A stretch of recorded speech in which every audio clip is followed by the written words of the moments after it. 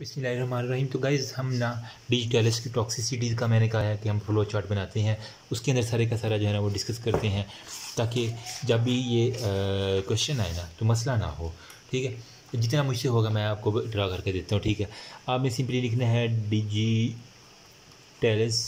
Toxicity अच्छा digitalis toxicity में हमारे पास जो है ना, वो दो आपको फीचर्स देखने को मिलेंगे। एक तो हमारे पास था एक्यूट ठीक है? एक्यूट होगा और एक हमारे पास होगा क्रोनिक जो अचानक आपको देखने को मिलेगा ना, वो हमारे पास होंगे किधर गया यार। उसके अंदर हमारे पास आ जाएँगे एरिदमिया डायरिया प्लीज़ इसी तरह लिखिएगा। वोमिटिंग ठीक है? और अरिदमिया का डायरिया नोजिया वोमिटिंग ये चार जो है ना, जबकि क्रोनिक के अंदर क्या हमारे पास आएगा कैल्शियम जो होता है ना, वो अकामुलेशन हो जाएगी, ठीक है? अब कैल्शियम अकामोलेशन की वजह से हमारे पास क्या होगा?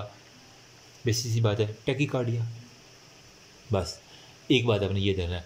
हमने सबसे पहले जो टॉक्सिसिटीज़ के अंदर इम्प्रूव क्या क्या करना है? हमने पोटाशियम को मतलब जो हाइपोकिलीमिया हुआ, उसको प्लस मैग्नीशियम हाइपो मैग्नीसीमिया हुआ है ना, इसको जो है ना, वो इम्प्रूवमेंट करना है, इसके सप्लीमेंट इम्प्रूव करना है। ठीक है?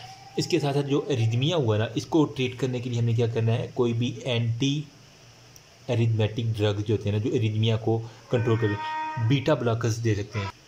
तो कोई भी एंटी एरिथमेटिक ड्रग जो है ना, वो दे देंगे बीटा ब्लॉकर्स वगैरह तो इसके साथ एरिथमिया ख़त्म हो जाएगा। इसके अलावा जो होता है ना, वो हम डाइजॉक्सिन एंटीबॉडी एक होती है।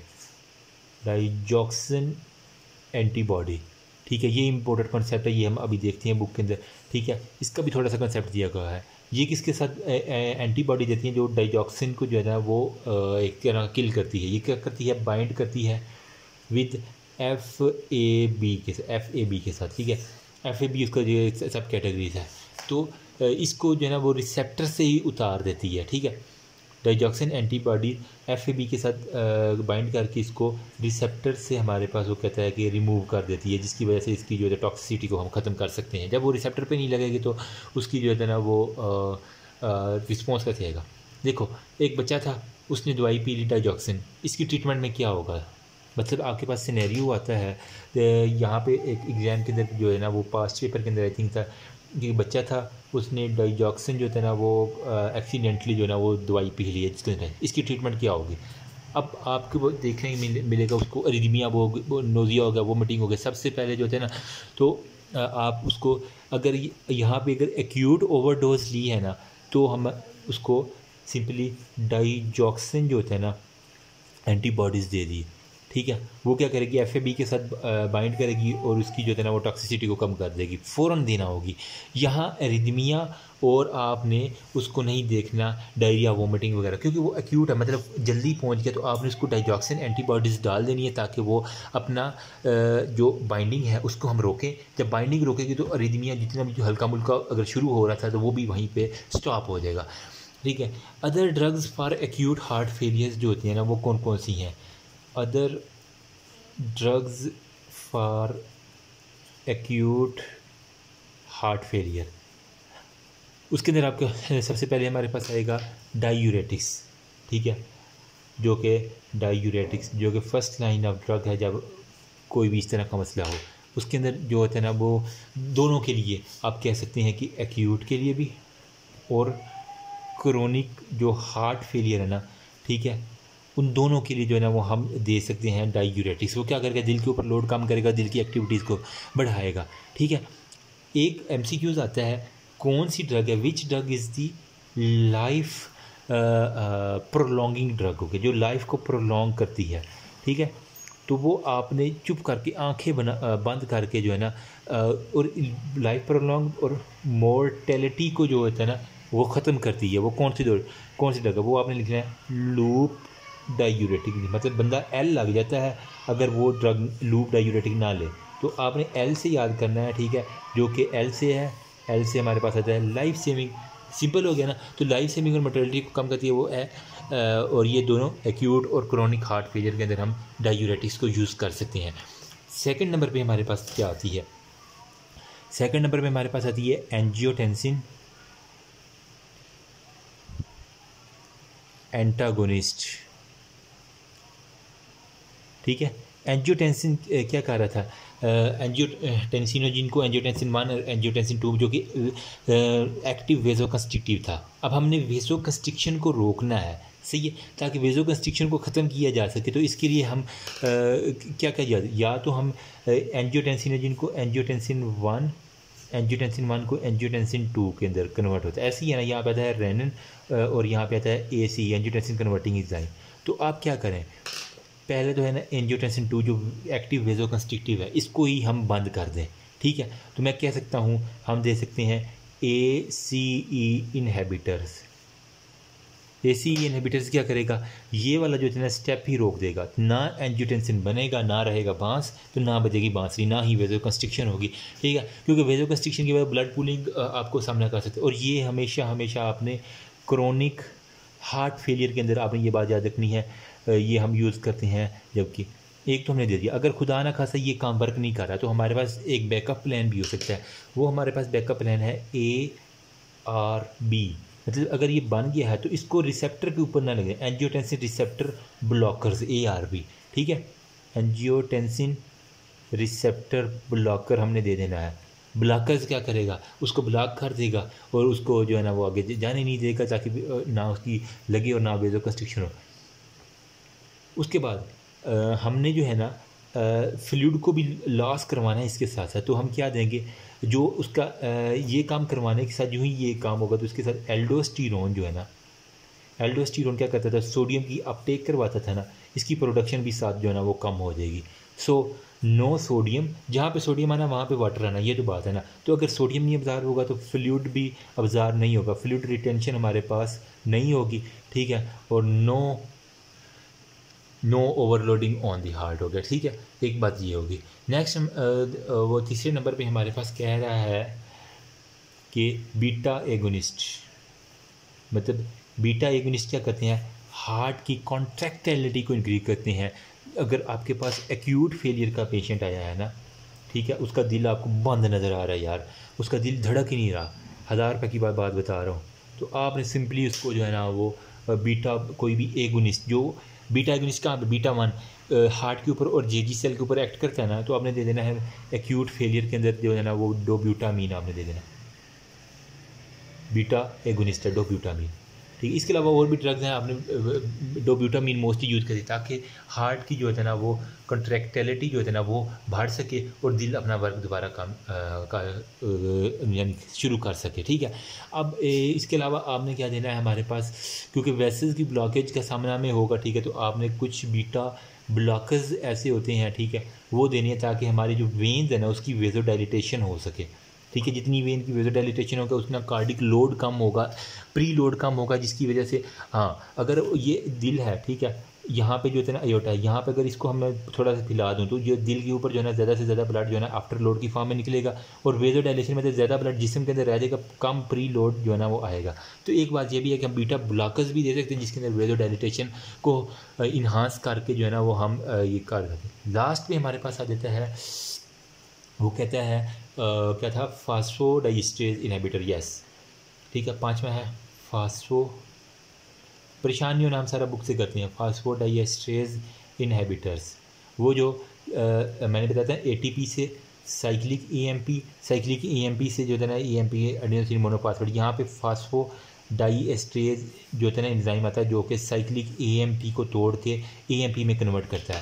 अगर हम इसको ही रोक दें तो ना ये ए में टूटेगा साइक्लिक तो साइक्लिक ए का अल्टीमेटली लेवल बढ़ना शुरू हो जाएगा। तो क्या करता है? स्मूथ मसल की कॉन्ट्रैक्शन को जो ही अगर ये ज़्यादा होगा तो वो रिटेन करेगा कैल्शियम को। मतलब साइक्लिक ए का अगर लेवल ज़्यादा होगा तो वो क्या करेगा? रिटेन करेगा हमारे पास कैल्शियम को इन दी सेल ठीक है, जितना ज़्यादा कैल्शियम, उतना ज़्यादा स्मूथ मसल की कॉन्ट्रैक्शन ठीक है कार्डिक मसल के अंदर जो स्मूथ मसल आते हैं ना, ठीक है एंडोथिलियम मायोथिलियम और एपिथियम ठीक है मायोकार्डियम के अंदर जो मसल्स हैं, वो उनकी कॉन्ट्रैक्टिलिटी में सो इसके अलावा जो होता है ना, वो अक्यूट हार्ट फेलियर के अंदर जो है ना, ये पॉजिटिव जो होता है ना, वो आइनोट्रॉपिक इफ़ेक्ट करता है मतलब उसकी कॉन्ट्रैक्टिलिटी को मज़ीद इन्हांस करवा देता है। लास्ट पे जो होता है ना बट नॉट लीस्ट हमारे पास आ जाता है कुछ वेजो डाइलेटेड डाइलेटर्स ठीक है? जो कि हमने क्रोनिक हार्ट फेलियर के एक्यूट के अंदर क्रोनिक हार्ट फेलियर के अंदर, उनके नाम आपने याद करने हैं। जो हम ज़ुबान के नीचे लिखते हैं ना नाइट्रो ग्लिसरीन हो गया नाइट्रो सॉरी पेरोसाइड हो गया, ठीक है, और नाइट्रिक नाइट्रो यूरेटिक जो था ना पेप्टाइड था आई हाँ पेप्टाइड ये तीन ड्रग्स के अपने नाम याद कर लेने हैं ताकि ये जो वेजो डायलेटर के अंदर। अब मैं आपको बुक से ये सारे का सारा जो है ना, ये चार्ट जो मैंने अपनी इतना खपत की है इसको आपने अगर इस तरह बना देंगे तो मैं एकदम मज़ा आ जाएगा। सही है। थोड़ा सा आ, मैं कोशिश करता हूँ आपको वाइंड अप करने डाइजॉक्सिन में कह रहा था एंटीबॉडीज़ हमने डाइजॉक्सिन देनी जिसके अंदर एफ़ ए बी फैब जो होता है ना फ्रेगमेंट्स जो होते हैं ना डिजी बाइंड जो एक किस्म का होता है। यार इसको थोड़ा सा जूम कर लूँ मैं सॉरी फॉर देट ठीक है? ये फैब एंटीबॉडीज़ जो होते हैं ना उसके साथ should always be use if अगर कोई भी थेरापी वर्क नहीं कर रही तो एफ़ ए बी फ्रेगमेंट वाली जो डाइजॉक्सिन एंटीबॉडीज़ है ना, वो आपने डाल देनी, वो अफेक्टिव पॉइजन के साथ विद मैनी ग्लाइकोसाइड के साथ मिल जाती हैं और पेशेंट को जो है ना वो सेव कर लेते हैं। अदरवाइज़ पेशेंट जो है ना वो मर जाता है। डाइजॉक्सिन वगैरह नैरो थेरापूटिक विंडो है, ठीक है। ये अगर आपने पढ़ना है तो पढ़ लेना, ठीक है। वही पिछली बातें हैं सेवन लीटर पर हार होगा, पाँच सौ लीटर होगा, बच्चों वाली बातें हैं, कुछ भी नहीं है। अदर ड्रग जो होते हैं ना, वो क्या कह रहे थे? A C inhibitor beta selective beta blocker phosphodiesterase vasodilator मैंने सारी बताई हैं इधर। Diuretics angiotensin agonist beta agonist beta blockers ठीक है एल्डोस्टीरोन वाले फास्फोडाइस्टिन इनहिबिटर और एंड भी मैंने वेजोडाइलेटर बताए हैं। उसी को उसने फिर वो खोल खोल के बयान किया हुआ है, ठीक है।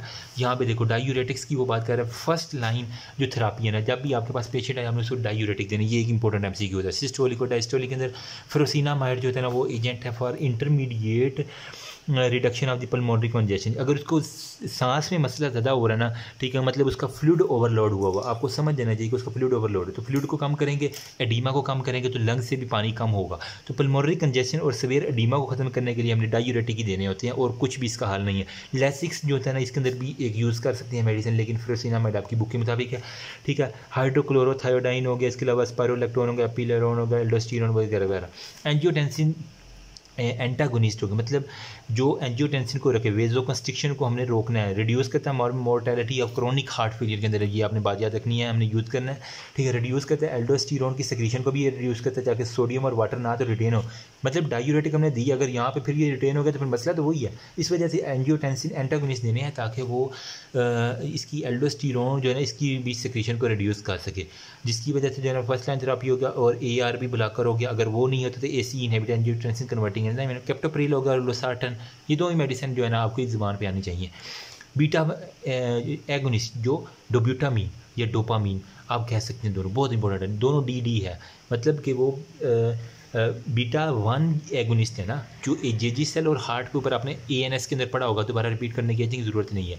तो वही जो ड्रग्स है ना, वो यहाँ पे कह रहा है कि वो क्रॉनिक हार्ट फेलियर के लिए आप ओरल एफिकेसी जो एंटी एरिथमेटिक हो गया बीटा एड्रीनो रिसेप्टर एंटागोनिस्ट पहले हमने एगोनिस्ट दिया, अब beta Adreno receptor antagonist carvedilol हो गया लेबिटालोल हो गया। मेटो मेटाप्रोलॉल हो गया ये सारी ड्रग क्रोनिक हार्ट फेलियर के अंदर देना जो बीटा ब्लॉकर्स हैं, वो क्या करेंगी? हाइपरट्रॉपिक कार्डियोमिगेली नहीं होने देंगी, ठीक है?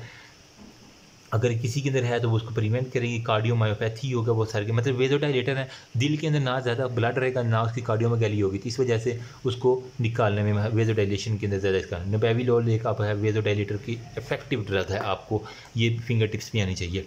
फास्फोडाइस्टेज इनहेबिटर मैंने बता दिया है साइक्लिक ई के लेवल को हमने बढ़ाना है, ठीक है? तो वो थियोफाइलिन हो गया एमारॉन हो गया और मेलेरोन हो गया। ये क्या ये वाली ड्रग जो हैं ना वो साइक्लिक ई एम पी जो ही बढ़ेगा वो क्या करेगा? आ, हमारे पास फास्फोडाइस्टेज की जो है ना ईएमपी के अंदर नहीं कन्वर्ट करेगा जिसकी वजह से स्मूथ मसल जो है ना उसकी जो है ना वो कंट्रैक्शन यहाँ पे होगी। वेजो डायलेशन हो जाएगी स्मूथ मसल जो है ना वो उनकी वेजो डायलिटेशन की वजह से क्या होगा? हमारे पास वो उसका कार्डिक लोड कम होगा और वो सारे बेनिफिशियल इंक्रीज के सेंटिविटी कॉन्ट्रेक्टिलिटी प्रोटीन सिस्टम वो सारे के सारे बातें वेजो डायलेटर एंड पे लिखा हुआ नाइट्रोपेरोसाइड हो गया नाइट्रोग्लाइसरीन हो गया जो हम ज़ुबान के नीचे थिंक देते हैं, ठीक है? और नेजेट्राइड जो कि नेट्री यूरेटिक्स होती हैं, ठीक है? ये हमने पहले भी यहाँ पे पढ़ पढ़ रखा कि नेट्रीयूरेटिक होते हैं नेजेट्राइड हो गया। और अमेरिकन हो गया, ठीक है? नॉन फार्माकोलॉजिकल मतलब अगर हमने इसकी मेडिसिन तो देनी है, लेकिन फार्मेसी के अलावा इसकी क्या ट्रीटमेंट है? कुछ पेशेंट होते हैं जिन्हें ज़्यादा सवेर ये जो है ना, कार्डिक अटैक्स हुए हुए होते हैं। तो हम उसके अंदर फिर सर्जिकल ऑपरेशन जो होता है ना वो आ, करते हैं ठीक है? सर्जिकल ऑपरेशन के अंदर क्या होता है? जो नॉन फंक्शनल रीजन होता है ना मायोकार्डियम का उसको रिमूव ही कर देते हैं ठीक है? ना रहेगा बाँस ना बजेगी बांसुरी रीसिंक्रोनाइजेशन करवा दी जाती है राइट और लेफ़्ट वेंटिकल की contraction mean of pacemaker मतलब उनको एक आर्टिफिशियल कभी कभार जो है ना वो पेस मेकर भी लगाया जाए उनकी री सिंक्रोनाइजेशन करवा सकते हैं हम ठीक है? एक दफ़ा रुका के फिर यकदम से शुरू करवा सकते हैं ताकि वो एक्टिविटी के अंदर नॉर्मल आ जाए। इसके अलावा हम अगर जो है ना वो क्रोनरी आर्टरी डिज़ीज़ है तो बाईपास कैसे कैबेज जिसे हम कहते हैं क्रोनरी रीवेस्कुलराइजेशन मतलब वेसल को जो ना दोबारा एक नई वेसल बाईपास जिसे हम कहते हैं ना, वो सारे का सारा इसके सिस्टम के अंदर तो गाइज़ ये था पूरे का पूरा चैप्टर मैंने अपनी तरफ़ से पूरी कोशिश की है, जितना मुझे आता था मैंने समझाने की कोशिश की है, ठीक अगर कोई मुझसे गलती हुई तो कमेंट सेक्शन आपके लिए ओपन है। Feel free to share anything you want ठीक है? कि कैसी लगी वीडियो जो भी आपने बताना है, बताइए। अच्छे, बुरे कमेंट मैं सारे एक्सेप्ट करता हूँ, ठीक है? जितना मैंने पढ़ा हुआ था, जितनी को मेरी जो है ना वो नॉलेज था, अपनी तरफ़ से पूरी बेस्ट देने की कोशिश की है, सही है? बाकी आप खुद पढ़ेंगे तो जो भी कमी रहेगी, आप पूरी कर सकते हैं। Thank you so much Allah हाफिज़।